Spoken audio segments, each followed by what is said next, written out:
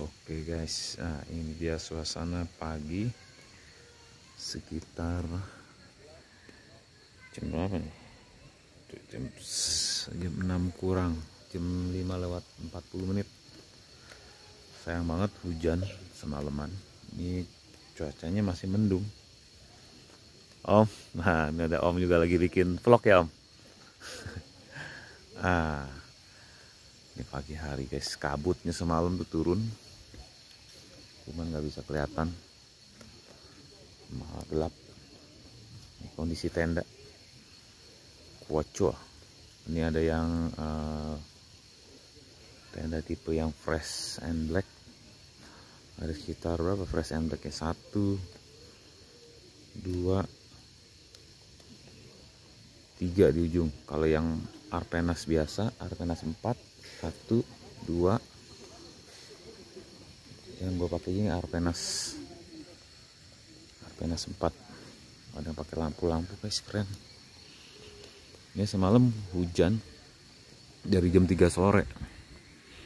Hujannya dari jam 3 sore. Ini kondisi uh, keadaan di luar tenda.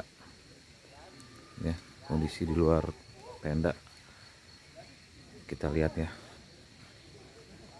kekuatan dari Arpenas 4.1 Wah.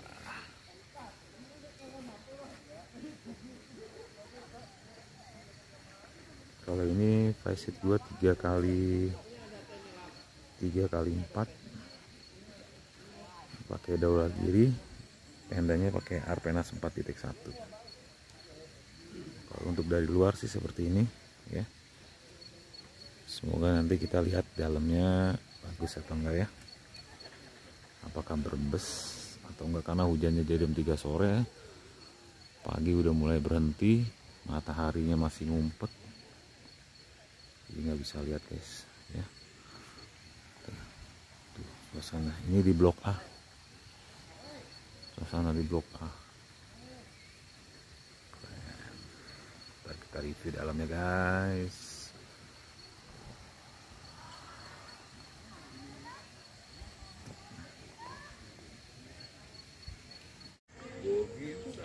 Nih guys.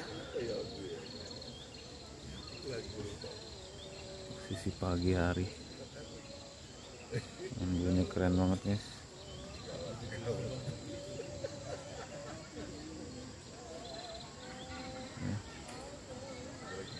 Keren.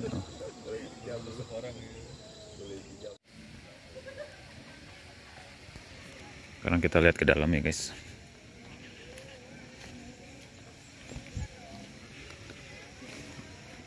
Kita lihat ke dalam.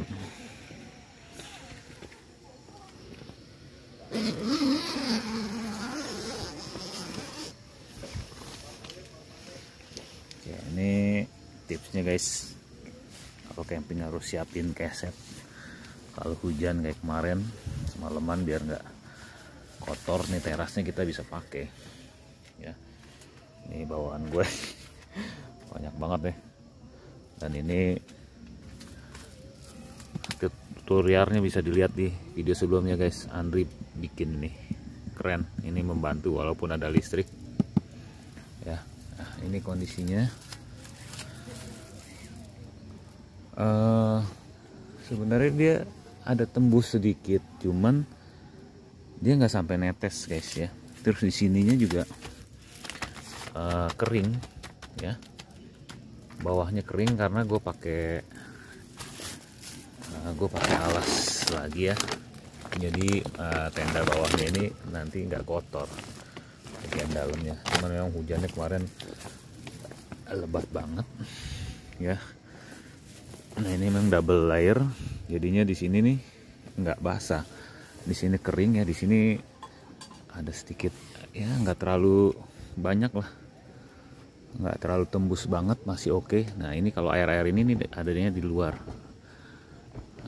adanya di luar. Tapi kalau di sini memang ya rembes sedikit tapi nggak nggak sampai bocor. Maksudnya nggak sampai netes ya. Nggak sampai netes ke bawah. Ini anak gue masih tidur. Nah, kita lihat di bawahnya. Buahnya itu ya masih oke dan di dalam ini aman. Ya ini kering.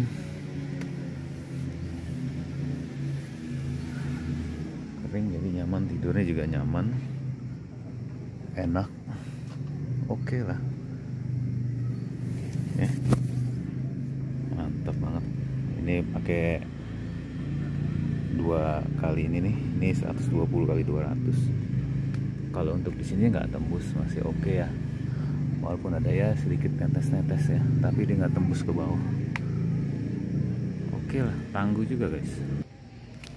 Kalau yang 4.1 ini dia jendelanya cuma satu ya. Tuh ya ini basah ini pada pagi. Bun tapi masih oke.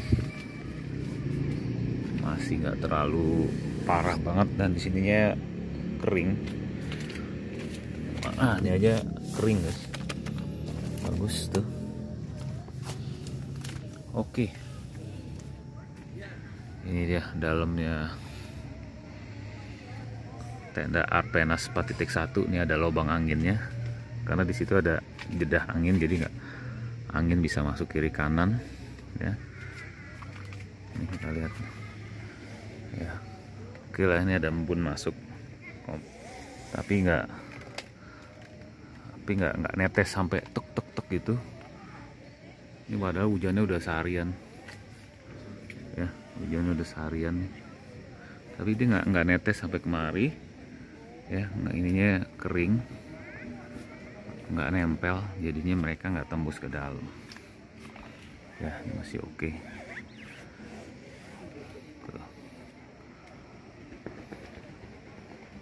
hujannya aja seharian guys oke ini dia.